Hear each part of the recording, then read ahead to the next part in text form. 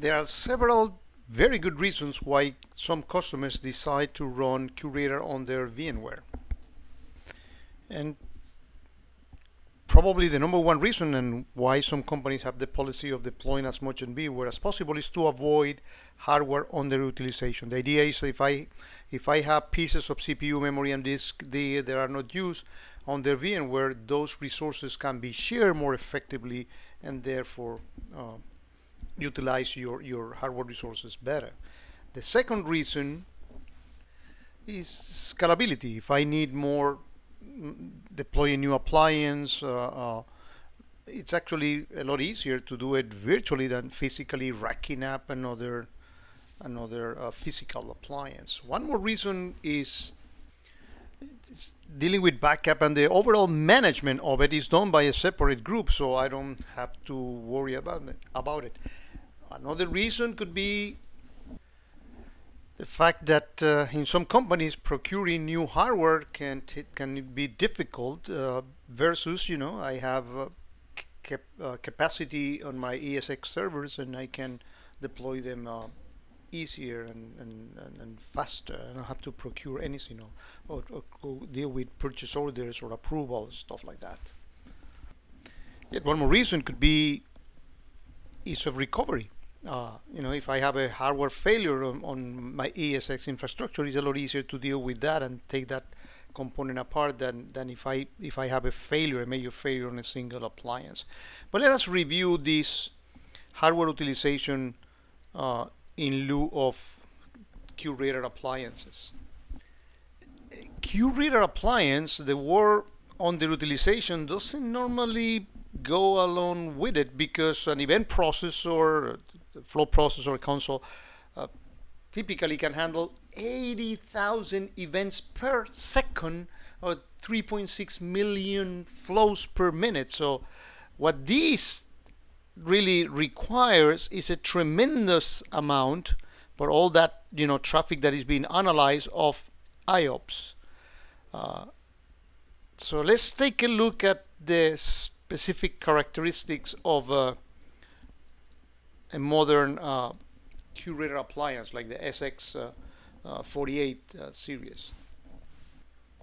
I do not know how many cores or processor are uh, exist in a, an SX48. It should be, you know, maybe 24 or so.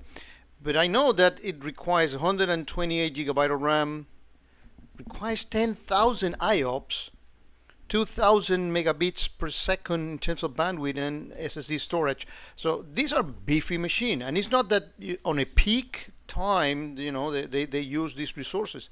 It's constantly because of the amount of traffic that is analyzing is actually using those resources. So when you go to your VMware administrator and you ask for a for a for a virtual machine of this, you know, characteristics, he may start wondering why, what are you doing drinking on the job? I mean, that that's that's ridiculous uh, to ask for it.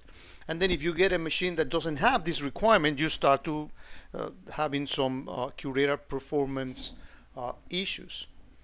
Let's see what is in today's world a better alternative for that.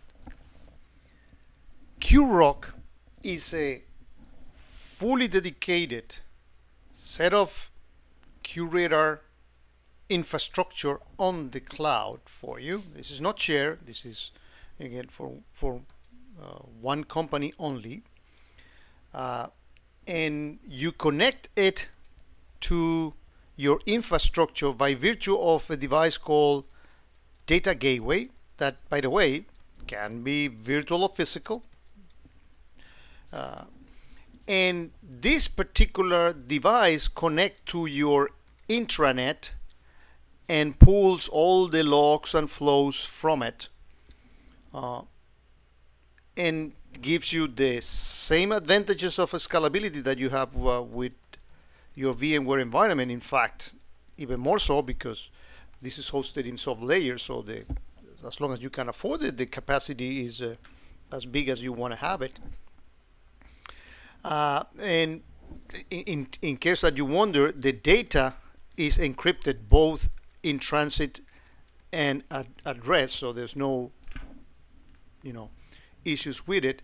but a couple of advantages that it has is that in this link that is used to communicate with the cloud, the appliance, the data gateway appliance, implements compression, typically a 10 to 1 compression. So the, the bandwidth usage is, is, is, is very efficient. But also, imagine that I don't know if you implement in your environment HA or DR, but that multiplies the number of appliances, and you know it, it's another thing to manage.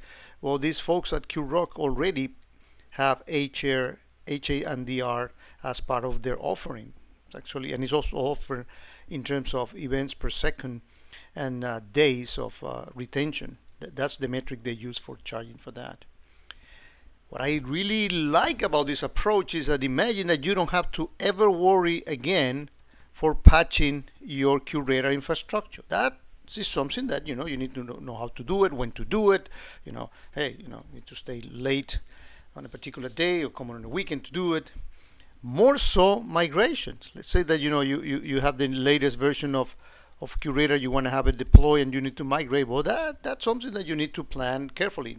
Not so in QRoC because they take care of it. So when you are thinking of, of deploying QRadar on a on a VMware environment, give a, a, a consideration to the QRoC. Ask for a for a proof of concept, or you know, get get more familiar with it because it can be a better alternative for some companies.